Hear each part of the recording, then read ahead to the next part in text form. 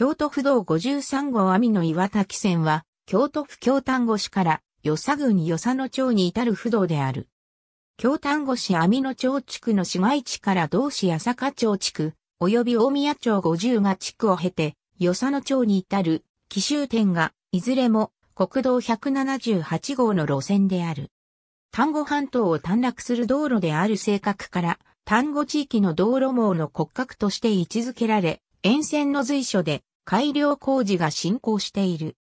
また、沿線には、京丹後市役所網野庁舎及び、八坂庁舎と与謝野町役場のほか、京丹後市立八坂病院や京都府立医科、大学附属北部医療センターなどの医療拠点が立地しており、これらを連絡する道路として緊急輸送道路に指定されている。京丹後市八坂町東楽自治区。峠越えであるが2車線は確保されている。京丹後市網野町の市街地にある国道178号との交点を起点とし、東へ向かう。途中、未改良区間を挟みながら、八坂町地域に入り、道の駅丹後味わいの里を通過する。八坂大橋で竹野川を渡ると、向きを南に変える。峠を二度越えると、与謝野町に入り、再び国道178号と接続する。男山交差点を終点とする網の岩滝線と、延伸部分で2011年に全線が供用開始した岩滝海岸線について、与謝野町男山地内から与謝野町岩滝地内まで、延伸部分の一部を供用開始する、告示後に発行された京都府の資料には終点を与謝野町男山と明記しており、与謝野町発行の広報誌においては、括弧書きで岩滝海岸線と表記していることから、岩滝海岸線の名称として、ここでは別路線として扱う。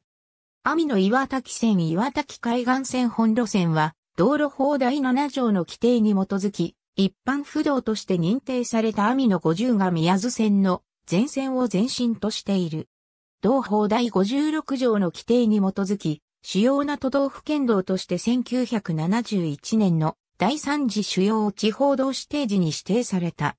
強小な未改良区間は残るが、道路拡幅やバイパス道路の建設を推進し、順次供用を開始している。また、京丹後市八坂町は電野で国道482号、丹後八坂道路と接続を予定しており、2012年は八坂町側から築造工を進めるとしている。自然史跡学校金融機関、郵便局神社、仏閣余暇、観光網の岩滝線起点、北緯35度40分47秒統計135度01分49秒、北緯35.679705度統計135.030296度、35.679705-135.030296、網の岩滝線終点、北緯35度34分18秒統計135度09分41秒、北緯35.571624度統計135.161378度、35.571624-135.161378、岩滝海岸線起点、北緯35度34分18秒統計135度09分41秒。北緯35.571624度統計135.161378度。35.571624-135.161378。岩滝海岸線終点。北緯35度33分41秒統計135度09分21秒。北緯35.561424度統計135.155834度、35.561424-135.155834ありがとうございます。